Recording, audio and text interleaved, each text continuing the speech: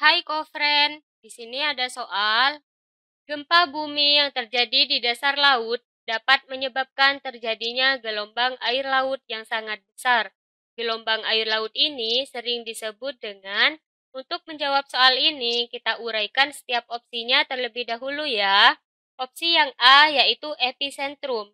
Epicentrum adalah titik pada permukaan bumi yang terletak tegak lurus di atas pusat gempa yang ada di dalam bumi. Sedangkan opsi yang B yaitu tsunami.